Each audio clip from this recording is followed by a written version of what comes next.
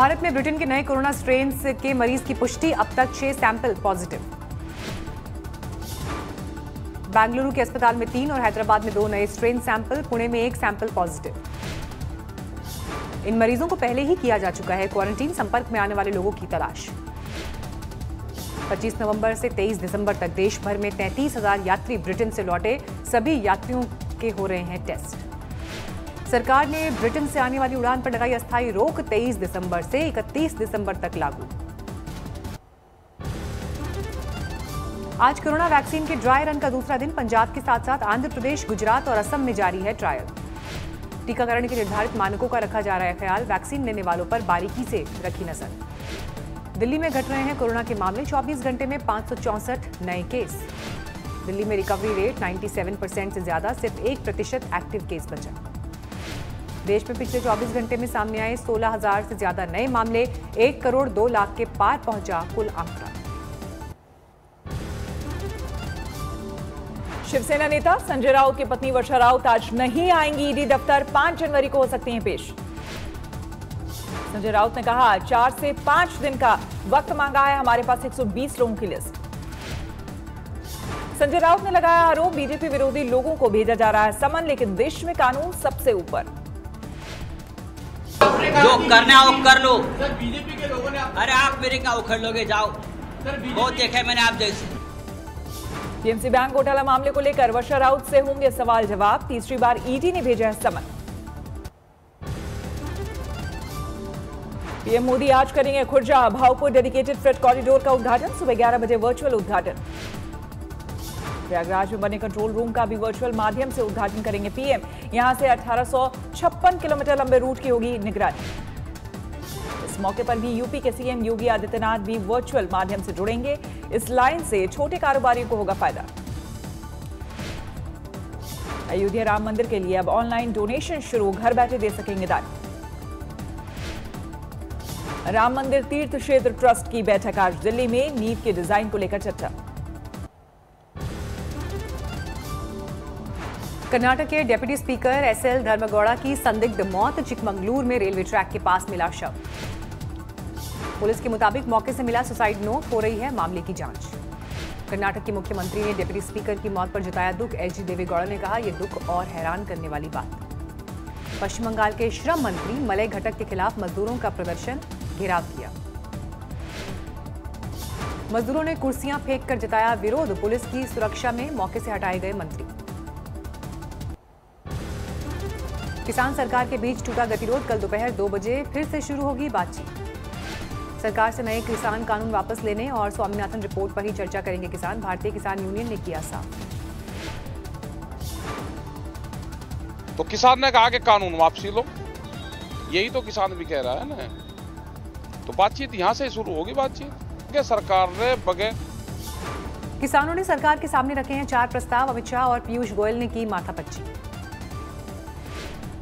निश्चित रूप से कल जो बैठक होगी, उसके अंदर हम आशावान हैं और सफलता मिलेगी कि एक समाधान तक पहुँच सकें। किसानों ने सरकार को लिखी थी चिट्ठी, पहले आज के लिए दिया था मीटिंग रखने का वक्त। 25 किसान संगठनों के प्रतिनिधियों ने कृषि मंत्री से की मुलाकात, खेती कानूनों के समर्थन का सौंपा पत्र। किसान आंदोलन के बीच अन्नदाता को बाज़ार से जोड़ने की पहल, पीएम ने सौवीं किसान ट्रेन को दिखाई हरी झंडी। महाराष्ट्र के संगोला से पश्चिम बंगाल के शालीमार तक जाएगी किसान रेल छोटे छोटे पार्सल भी भेजेंगे किसान। ये मोदी ने एक बार फिर किसानों को दिलाया भरोसा। बोले, हमारी नीयत भी साफ़ है और नीति भी स्पष्ट।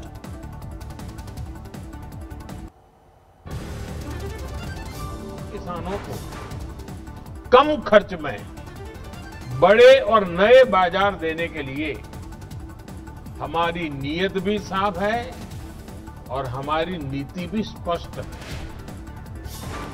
आज किसान आंदोलन का चौतीसवां दिन, दिल्ली की सीमाओं पर चारों ओर डटे हैं आंदोलनकारी। सिंह बॉर्डर पर प्रदर्शन को बड़ा करने की तैयारी, आंदोलनकारियों ने बनाया बड़ा स्टेज। बागपत में शुरू हुई कृषि बिल के विरोध में किसानों की महापंचायत, दिल्ली कूच की तैयारी पर होगा मंथन। झांसी में जलाया गया किसान नेता राकेश टिकैत का पुतला ब्राह्मण समाज पर अभद्र भाषा के प्रयोग को लेकर नाराज़गी।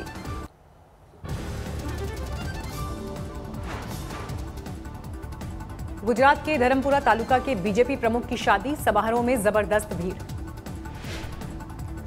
केतन भाई की शादी की भीड़ को लेकर 11 लोगों के खिलाफ एफआईआर, अब तक 8 लोग गिरफ़्तार। अंतर्राष्ट्रीय शूटर वर्तिका सिंह पर केस दर्ज, सूचना प्रौद्योगिकी अधिनियम के तहत मामला। हाईकोर्ट अधिवक्ता कालिका प्रसाद मिश्रा ने दर्ज कराया मुकदमा अमेठी की सांसद स्मृति ईरानी की छवि खराब करने का आरोप। कालिका प्रसाद मिश्रा ने ट्वीट कर बताया वर्तिका ने स्मृति ईरानी पर लगाया है भ्रष्टाचार का झूठा और फर्जी आरोप। लखनऊ में रिटायर्ड फौजी ने की खुदकुशी लाइसेंसी राइफल से खुद को मारी गोली होटल में मिला शव। समाजवादी पार्टी के पूर्व विधायक दीप नारायण यादव का गन, के गनर थे राजेश कुमार। गोली की आवाज़ पर बुलाई गई पुलिस। बुलंदशहर में अस्पताल से फरार हो गए चार आरोपी ताला तोड़कर छत के रास्ते से भागे। चेन्नई में कस्टम विभाग ने पकड़ा चार किलो सोना, तीन लोग गिरफ़्तार। आंध्र प्रदेश के कृष्णा में देसी शराब के खिलाफ बड़ा अभियान 4000 लीटर देशी शराब नष्ट। ललितपुर में बंदूक दिखाकर किसान से मांगे शराब पीने के पैसे, वायरल हुआ वीडियो। कानपुर में अंतर्राष्ट्रीय मोबाइल चोर गिरोह का पर्दाफाश। चोरी के 128 मोबाइल फ़ोन के साथ पाँच चोर गिरफ़्तार। फतेहपुर में फेरी करने वाले भैंस चोर को पकड़कर गाँव वालों ने की पिटाई। सोशल मीडिया में वायरल हुआ वीडियो। हावड़ा में ट्रक और बाइक की टक्कर में एक की मौत, गुस्साए लोगों ने की आगजनी। दुमका में सुरक्षा बलों को बड़ी कामयाबी, नक्सलियों के पास से हथियारों का बड़ा जखीरा बरामद। सरायकेला में दर्दनाक सड़क हादसा। दशम फॉल पिकनिक मनाने आ रहे चार लोगों की मौत। सवाई माधोपुर में बुज़ुर्ग की मौत के बाद बवाल। लोगों ने लाश के साथ किया विरोध प्रदर्शन। बहराइच में बारातियों की गाड़ी से सड़क हादसा। गाँव वालों ने जमकर की तोड़फोड़। चंदौली में पुलिस ने बरामद किया एक करोड़ का गांजा। छत्तीसगढ़ से बिहार ले जाई जा रही थी खेत दो गिरफ़्तार। पुलिस ने गाजियाबाद में दिन दहाड़े एक युवक को सरिया से मारकर किया लहूलुहान। वीडियो बनाते रहे लोग। बिहार के अस्पताल में हड़ताल पर हैं जूनियर डॉक्टर, मरीजों की बड़ी परेशानी। यूपी में शुरू हुई जाति लिखे वाहनों पर कार्रवाई, शहर दर शहर, पुलिस ने चलाया अभियान। चिंदौली में योगी के फरमान के बाद गौशाला पहुँचे कमिश्नर और आईजी गाय को खिलाया गुड़ और चारा। हिमाचल में फिर शुरू हुई बर्फबारी, शिमला और मनाली के ऊपर ऊपरी हिस्से में कई सड़कों पर थम गई आवाजाही। धर्मशाला के पर्यटन नगरी नड्डी में भारी बर्फबारी, देखने के लिए उमड़ी सैलानियों की भारी भीड़।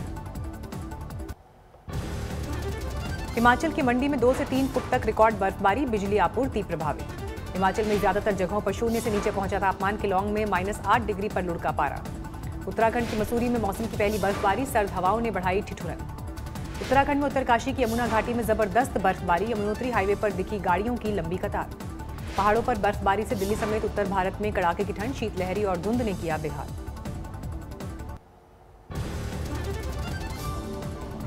दुकानदारों से कैरी बैग के पैसे वसूलने को एनसीडीआरसी ने ठहराया गलत। राष्ट्रीय उपभोक्ता विवाद निवारण आयोग का आदेश तुरंत बंद करे पैसों की वसूली।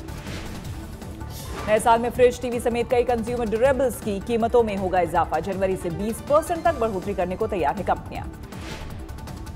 पीएम आवास योजना ग्रामीण के तहत अभी तक लक्ष्य का चौवन फ़ीसदी हुआ हासिल। 2022 तक सबको घर दिलाने का है टारगेट।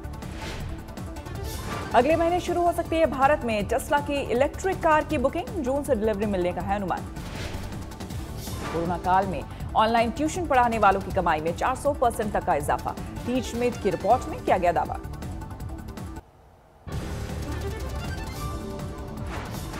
मेलबर्न टेस्ट में भारत की आठ विकेट से शानदार जीत, ऑस्ट्रेलिया से सीरीज़ एक एक से बराबर।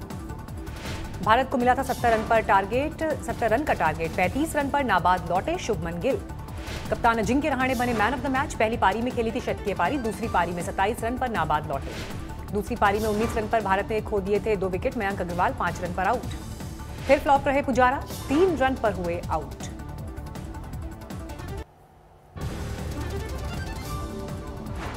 दुनिया में आठ करोड़ बारह लाख के पार पहुँची कोरोना मरीजों की संख्या, अब तक सत्रह लाख सात हज़ार से ज़्यादा की हो चुकी है मौत।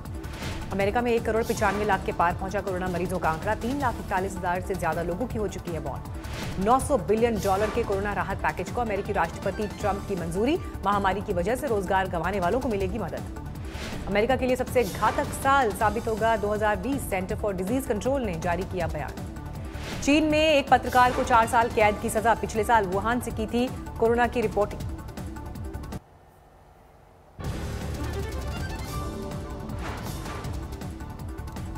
कनाडा में मिला कोरोना वायरस का नया और ज़्यादा खतरनाक वेरिएंट, लोगों को किया गया क्वारंटीन।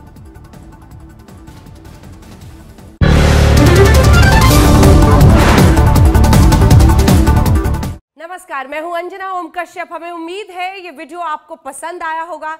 लेटेस्ट खबरों के लिए यूँ ही देखते रहिए आज तक और इस वीडियो के पसंद आने पर लाइक, शेयर एंड सब्सक्राइब करना ना भूलें।